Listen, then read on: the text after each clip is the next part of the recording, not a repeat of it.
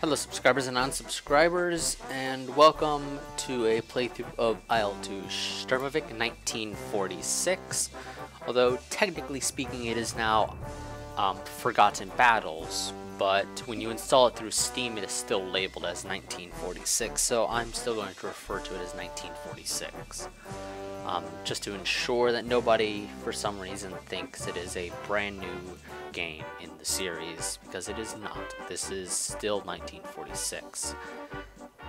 Um, and this is going to be labeled as actually as episode 0. Um, and I am going to be um, pretty much walking you through the control setups that I'm going to be doing uh, for the first campaign. I do plan to do multiple campaigns, but only if the the videos in this series get um, a decent number of views, which I'm gonna put at approximately 20. Um, I'll leave a little bit of leeway, like if a video only gets say 18 or 19 views, I'll still count it as if it was 20, even though it's not. Um, just for the sake of leaving that leeway.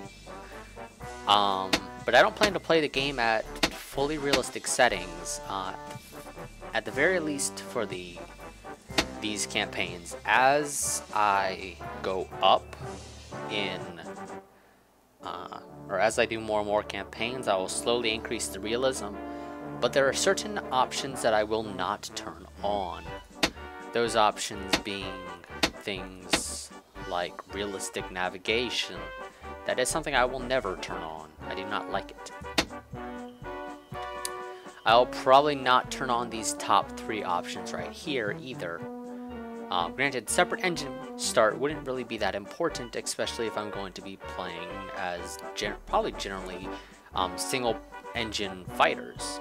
So yeah, I don't think I'll be playing as bombers really often unless you guys really request me to play as bombers, and I might, in which case it'll probably be a good idea to try turning these on, or at least the separate engine start um, but yeah, this is generally going to be my difficulty setup for this first um, playthrough. Um, where I'm, I don't know exactly I'm going to play as. France hasn't worked out for me in a couple of test recordings that I've done. Um, mostly because the Hurricane one does not work for me, personally. Um, and I'm, I don't think I'll go and play as these smaller nations. Like, I don't think I'll play as, like, Finland or Hungary or Poland, even though Poland is a fairly big country when it comes to World War II. I don't think I'm going to play as them. I don't like their plane. It's garbage, to be honest. It is a... Uh, it's not exactly a biplane, but... I mean, it is a monoplane, but it easily looks like it's a biplane where they went and they cut off a couple of the wings and just said, this thing can fly. That's what it looks like to me, at least. So generally speaking, I'll probably be playing as like Germany, Japan, um, the British Commonwealth as a whole, not just as um, the Royal Air Force and as Britain in general. I'll be playing as probably um, the entire British Commonwealth at some point obviously the US and the USSR. Um, but yeah. Though, of course, if you guys request that I play as one of these smaller countries, I don't mind doing so. I just don't exactly have plans to do so. The first playthrough, I'm going to select my country. After the first playthrough, you guys will be allowed to select what country I play as. Now, when it comes to the um, initial, what's the term I'm looking for? Um, or well, not, well, first, um, when it comes to the first two missions, I will be giving myself a cumulative three tries. So a three strikes, you're out kind of rule for the first two missions, and it's cumulative between the two of them. So it's not like I have three for the first, and then no matter what happened in the first mission, I also have three in the second. That's not the way it's going to work.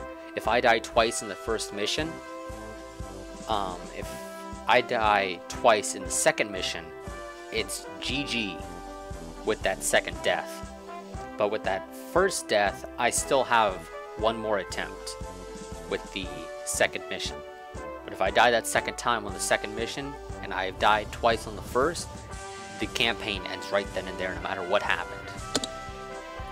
And I'll be using actually the dynamic campaign generator um, supplement as I refer to it. I don't really think it's necessarily a mod because the base game already has some dynamic campaigns, but I don't think they're really all that good.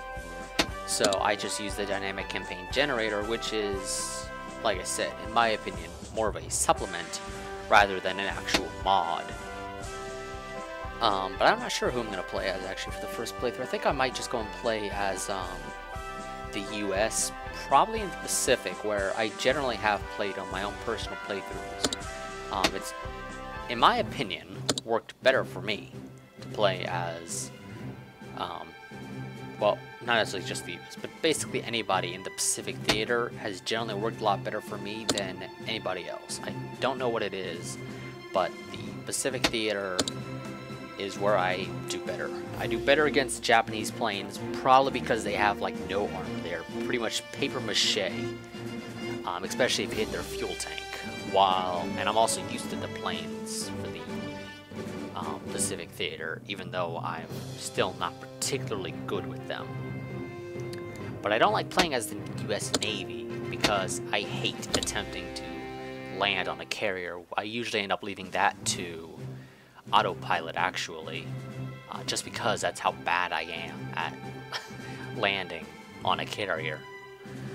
Um, but yeah, that's actually gonna be it for this first episode, or for episode zero here, where I sort of explain the general rules of the um, campaigns. So these difficulty settings will slowly get ticked on if I do multiple playthroughs, but if these videos, or if this first campaign doesn't get a lot of views, I'm not going to bother. Uh, but one thing I want to mention, this um, episode 0 and episode 1 are really only there to lay the groundwork for this series. I am not going to be actually starting this playthrough, or putting this playthrough essentially in like full gear until the start of the new year. Um, just for the sake of trying to minimize the number of series I have ongoing come the start of the new year. So this series is not going to go into full gear until, or yeah, this series doesn't go into full gear until the start of the new year. Um, yeah, so that's going to be it for episode zero. If you enjoy this, obviously continue watching. Um, if you don't enjoy this, hopefully you don't mind at least sharing it with somebody who might be interested in it. Um, but like I said, I am not good at this game. Um, my that's one of the main reasons why I'm turning off a lot of these um, somewhat more complex settings in a sense, because that's, yeah, I'm not good at it. As I get better and more comfortable with the game, I will go and play, or I will do my own playthroughs, or I will not, not do my own playthroughs, I will tick on more and more of those options, but some of them will be staying off, like realistic navigation, for example that is something that will stay off no matter what.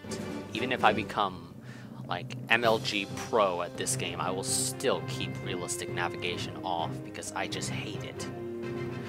Um, but yeah, that's gonna actually be it. So, like I said, if you're interested in this, continue watching. If you're not, hopefully you don't mind sharing it with somebody who might be interested in it. Um, but I'm going to cut off this episode right here and move on to recording episode 1. So until then,